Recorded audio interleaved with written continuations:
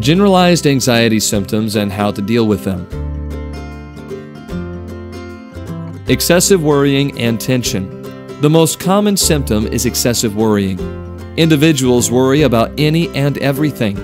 They feel helpless because they do not know how to control their worry.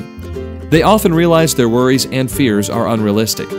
They worry about their job, school, work, friends, family, finances, and more. The more they worry, the more tense their muscles become. Tiredness and difficulty sleeping.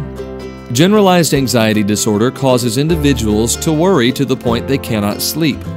They may have difficulty falling or staying asleep. It is not uncommon for them to toss and turn at night. The lack of proper sleep causes them to feel tired throughout the day.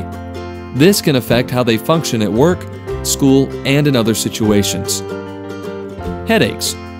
The tension that builds with constant worrying often results in headaches. These can range in severity.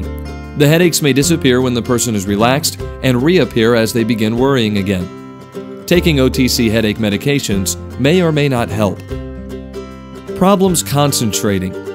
The excessive worry ruins a person's concentration. All their thoughts are focused on their current worries and they have difficulty concentrating on anything else. They often notice their performance degrading at everyday tasks because they cannot focus. They feel distracted and cannot seem to pull their thoughts into order. Frequent bathroom trips. Some individuals with generalized anxiety disorder have to go to the bathroom more often. The worry increases their stress levels, causing them to need to urinate more frequently. Some mistake this for a urinary problem instead of anxiety. This symptom on its own may be a urinary issue. Irritability.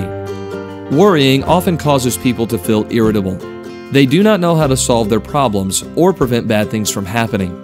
This causes increasing amounts of stress. They snap at loved ones, co-workers, and strangers.